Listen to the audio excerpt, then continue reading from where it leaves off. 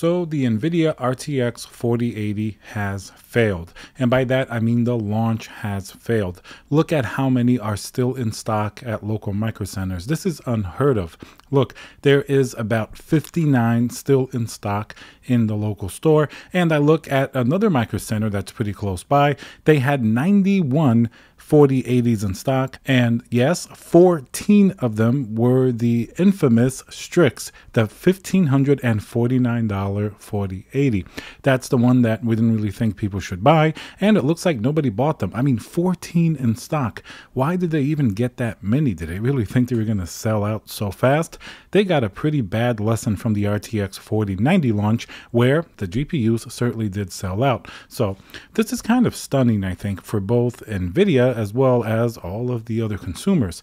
Many people have been saying you have to kind of vote with your wallet and not buy these GPUs. All of the reviews pretty much say that this GPU is $500 too expensive. Not the Strix, of course. That's, you know, probably way, way over $500. That's like $850 too expensive if we compare it to the 699 MSRP of the 3080, which this GPU really should be replacing. But NVIDIA didn't pull a bait and switch just now with the 4080 and increasing the price by such a dramatic amount. This happened during the GPU craze. The crypto mining boom, if you will, was definitely a big part of that.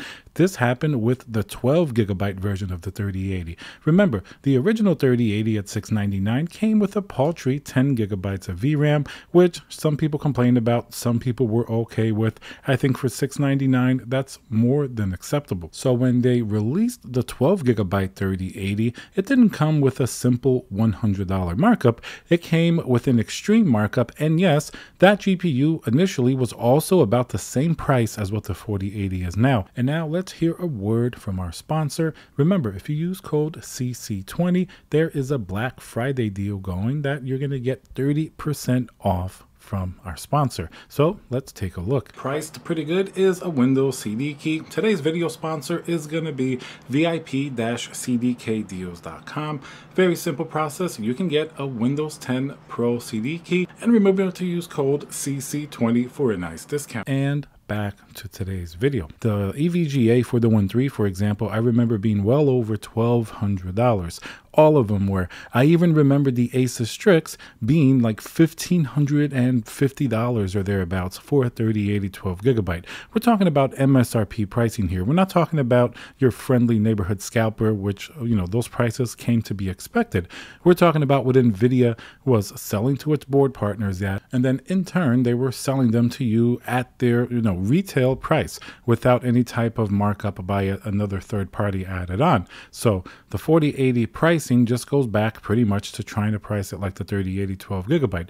Of course, that one didn't work out too well because even though it was still a decent GPU, it was better than the original 3080. It really wasn't that much better. It had a little bit more in CUDA cores and of course two more gigabytes of VRAM, but didn't really make it $500 better than the 3080.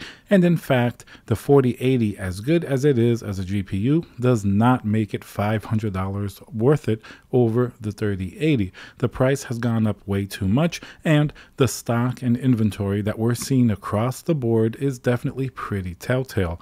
Now, a lot of people won't have a micro center near them. I understand that. There are people in Europe that are constantly telling me these GPUs are in stock, both 4090s. They're actually surprised that in the US, the 4090s are completely sold out because in their countries, in Europe and Australia, they see a lot of 4090s in stock. The pricing on average overseas just seems to be much more expensive for the 4090, while in the US, when you get it from Best Buy or Micro Center or something like that, typically it will be a cheaper MSRP price than you'll find overseas. But the 4080 now is playing out to be a similar story pretty much across the board. Here's another interesting tidbit. That same store that I said there's about 59 GPUs still in stock from yesterday, they told me they only got about 100 GPUs. So that means they didn't even sell half of what they initially got. The 4090, here's going to be a bigger number. They got about 150 RTX 4090s compared to about about 100 of the 4080s. Now, the big difference is that the 4090 within about a day or so sold out completely in these stores. Most of the models were actually gone by the end of the first day, and they had a few sporadic models. They probably had less than like five after the first day, and it was mostly like a Zotac or some kind of random 4090s. The 4080 after the first day still had almost way more than half. They had 59, so that means that not only did they get less GPUs than the 4090, they also sold considerably less. Here's going to be another sort of sore point that really points to this not being a good launch. Those 59 out of 100, how many of them do you factor were likely going to be scalpers? Well, if you jump on Facebook Marketplace, you'll see immediately in the vicinity, especially of this store, a lot of people had already listed these GPUs as in hand, meaning they got it from that particular store. And some of them even still have sometimes like that little micro center ticket so you know it came from there. So you can say, let's say if theoretically they sold 41, I'm not sure if they got any, you know, stock that wasn't listed. I don't know if that number was accurate, but if we go by those numbers and they only sold like 41 out of 100, that means that who knows how many out of those actual GPUs were to resellers and people going on like Facebook Marketplace and the secondhand market, aka your friendly neighborhood scalper. Maybe at least half, I would imagine, were people trying to resell it because after all, they'd have no way of knowing this was going to be a flop launch because after all, the 4090 did seem to sell out and there was a little bit of a demand on the secondhand market. I have to admit, even though we did think that the 4080 launch was going to be tricky, it's hard to know what to expect to be honest. I mean, we've had now three major product launches and they've each been pretty different. Let's start with Ryzen 7000. First, these are CPUs, so of course they're not going to have the same type of hype as GPUs, but Ryzen 5000 was unbelievably popular and it sold out pretty much like GPUs did. I mean, people were even scalping Ryzen 5000 CPUs. You basically had to get there on launch day so you could get whatever you wanted, and they were sold out for even like a couple of months. So there's definitely some precedent there for CPUs to have a similar sort of, you know, launch type of, um, you know, situation as GPUs. So Ryzen 7000 was basically sort of a failure as well. I mean, I was there at Micro Center the launch day. Barely anybody, we're talking about, I think, like five to seven people bought some of the really high end Ryzen 7000, like the 7950X, uh, which is a very small number compared to how many would have bought the 5950 and the 5900X, etc. Very small numbers. In fact, they sold very little during that week. They even had to do a special deal where you would get a free kit of DDR5 RAM, 32 gigabytes, if you bought uh, one of the higher end Ryzen CPUs. Actually turns out to be a decent deal, and they give you $50 off of a motherboard. That's how much they had to do for people to buy Ryzen 7000. Case in point, not a successful launch at all because the platform cost is just way too high. So those were the CPU launches. Hard to say. Ryzen wasn't that great. Intel was just like a normal launch. But then we had the RTX 4090 launch. That one was a pretty major launch launch. I mean, people lined up. The reviews for the 4090 were pretty stellar. And remember one thing the MSRP was only $100 more than the 3090 at 1599 compared to 1499. That's sort of a modest bump because people really, really liked the performance. It's already expensive to begin with. Don't get me wrong. It's, a, you know, 1599 is a lot for a GPU. Most people are not very happy with any GPU being over a thousand, but it is what it is. And 1599 is the price. But the price increase increase was modest compared to, you know, last generation. The reviews were very stellar. I mean, even with the price, people kind of said it was worth it. And that really panned out during release day. Micro Center had around 150, it seemed, at least at this store. Other stores seem to have similar numbers, if not more.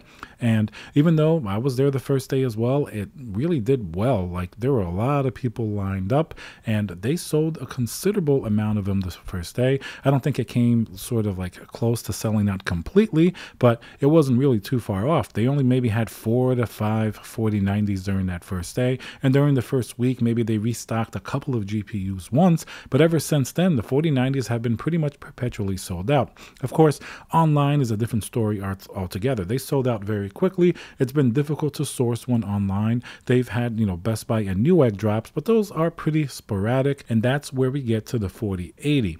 Now, we weren't sure if the demand was going to be anywhere near what the 4090 was. I mean, first, the reviews kind of say it all. The performance is good. There's nothing wrong with the actual GPU. The main problem is the price just feels way too expensive. It didn't feel like that with the 4090 for some reason because like I said, the price difference was only a little bit versus the 3090 and people were used to already having that really expensive GPU. That's been sort of put into the, you know, the public persona per se. The 4080 was supposed to be the replacement for a 3080, which is 699 and even though we had the 12 gigabyte of VRAM 3080 that was more expensive, people still can't really stomach the fact that that GPU went up about $500 in one generation. AMD is releasing RDNA 3 and they dropped pretty much a big whopper of sort of, uh, you know, the hype train is real with the AMD GPUs, I must say. Just like with the 4090 was very popular, the 7900 XTX $999 MSRP. Are you going to be able to buy it for $999? Probably not everybody. I mean, I'm sure a lot of the AIB models are going to be considerably more expensive. I would expect it in the real world to be similarly priced to the 4080 when you consider the cheaper 4080s versus the more expensive XTX 7900s. But if you're looking for traditional rasterization performance, just a flat out good GPU, I think the 7900 XTX definitely is going to be great. The uh, other model, the 7900 XT, I think is going to have similar problems to the 4080. It's just not really a very good value if you consider the small price difference between it and the 7900 XTX, at least on paper. When these things actually launch, a lot of things change. If you guys follow the channel, you'll see that the real world pricing of AIB models are often very different. All right, guys, let me know what you think. Would you buy a 4080? Obviously not. If you're waiting for maybe the AMD GPUs, or perhaps you've already gotten your 4090. Let me know down below what you think of the current GPUs. Remember to subscribe, and I'll see you guys on the next video.